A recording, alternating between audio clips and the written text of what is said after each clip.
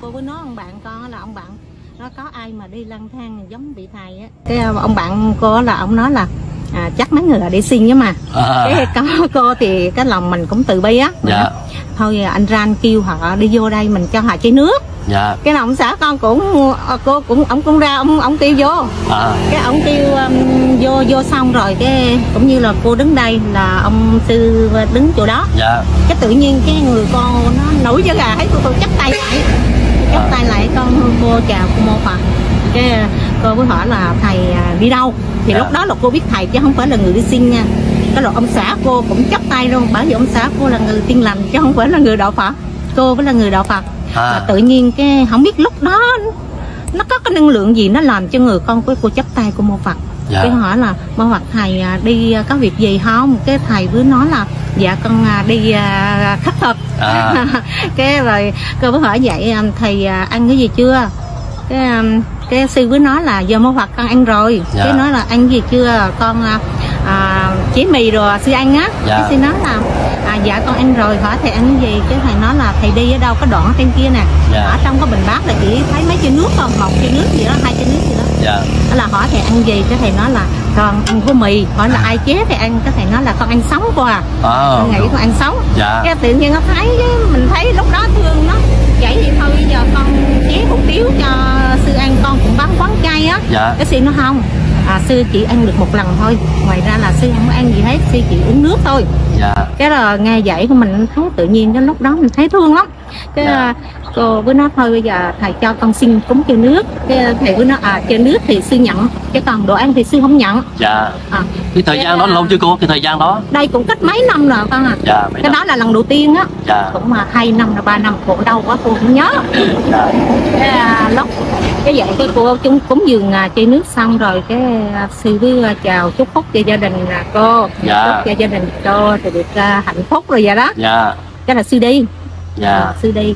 Cái lúc đó thì nghĩ là chắc là sư đi thôi chứ không biết. Cái sáng ngày cô ra cô bán cô mở cửa cô. Lúc đó là mặt trời cũng vừa mập á. Dạ cái tự nhiên thấy sư đứng trước chừng ngặn con cô mất hồn luôn. Cô chấp tay về cô nói Dạ. trời giờ không biết lấy gì đâu cũng giường nữa.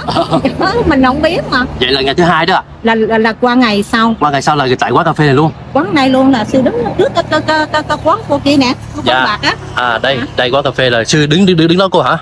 À, đứng trước cái kia nè à đứng đứng tấm bạc đó hả? dạ. Cái cô cũng giật mình luôn cô nổi da gà luôn nữa. Dạ. Giờ mô phật là biết là sư đi khất thực rồi. Dạ. Cái nó mô phật à, sư đạo con chút. Cái cô vô cô lấy cái gói hủ tiếu chay. Cô bắn à, quán chay à, cái hủ tiếu á. Dạ. cái cô bắn bình dân à. À, cái cô chế cô chế là cô nghĩ cái tô. Cái cô lấy cái tô cúng dường cô bỏ vô cái bát cho sư luôn. À à cái đem chơi dạ. Đó là sư cũng à, chúc phúc sang là sư đi. Dạ. Sư, sư đi. Sư đi thì sư thấy con thấy là sư đi lên á. Dạ. Cô tưởng là sư đi lên ở trên 30 tuổi sư đi luôn nha. Dạ. Cái sáng ngày mai. Ngày thứ ba. à sáng ngày thứ ba ngày thứ ba rồi. Cái tối lại cô cứ nghĩ nghĩ mà sáng dậy 4 giờ cô dậy cô nghĩ nghĩ không biết bữa nay á sư không có tới mình cũng không biết. Ok. Thì thôi à, cô bác lên à, lon gọ cô nấu cơm cô ăn sáng À. mình sẵn mình ăn sáng luôn. Nếu mà à, có sư thì mình cúng dường không có sư thì mình ăn tự vì cô cũng ăn chay á. Dạ. Cái vậy cái cô ở đằng sau cô vô cô cũng thấy sư đứng chỗ đó luôn. Cũng đứng chỗ đó luôn. Y chỗ đó luôn mà con mà cô mời sư ngồi ổng cũng không ngồi ổng đứng miết vậy đó. Dạ. Đợi cái, vời lúc quá. đó cô có cơm rồi cái cô mới đi lấy mấy cái hộp giấy cô có hộp giấy.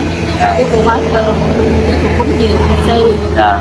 À, cúng dường thấy lúc đó là cô nấu đồ ăn đồ đòn hòn lắm. Không biết tiếng sao á chứ cô nói là thôi cứ nấu hờ đi tí mà sư tới thì mình à, cúng dường cho thấy tội nha. Cái bữa đầu tiên mà sư ăn cái gói mì à, tôm á dạ. thấy thương quá.